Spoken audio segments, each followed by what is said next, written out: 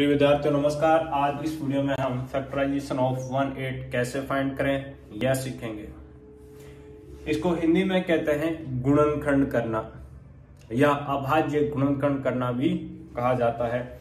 तो देखिए दोस्तों, हम शुरू करते हैं। यहाँ पर आपको एक बहुत आसान सा प्रोसेस करना है। संख्या में अभाज्य संख्याओं का भाग देना है। फैक्टराइजेशन का मतलब क्या है? किसी भी नंबर को प्राइम नंबर के मल्टीप्लाई के रूप में लिखना, यानी अभाज्य संख्याओं के गुणा के रूप में लिखना। चलिए, इसमें आपको अभाज्य संख्या पता होनी चाहिए। Two, three, five, seven. ये वन से लेकर टेन तक के प्राइम नंबर है, यानी अभाज्य संख्याएँ हैं।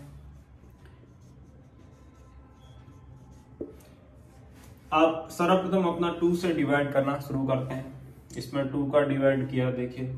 अट्ठारह डिवाइडेड बाई टू कितना मिलता है आपको? नाइन मिलता है। फिर नाइन में यदि हम चेक करें टू का डिवाइड करके तो नाइन आपका टू से डिविजिबल नहीं है, यानी दो से विभाज्य नहीं है। तो ऐसे कंडीशन में हम क्या करेंगे? आगे जाएँगे तीन के पास। तीन का देखिए, जब मैं नौ में डिवाइड करता हूँ तो मुझे कितना मिलता है? तीन। फिर हमने तीन में तीन का डिवाइड किया, कितना? वन मिल गया। यानी वन एट के हमारे पास फैक्टर क्या आ गया दोस्तों? ये आ गया।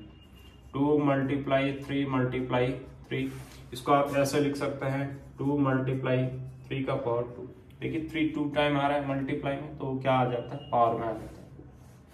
और यहाँ पे इसका टू का पावर वन लिख सकते हैं। तो इस प्रकार से हम अपना factorisation of one eight find किया। और ऐसे ही अन्य वीडियो देखने के लिए हमारे चैनल की प्लेलिस्ट पर विज़िट करें। धन्यवाद।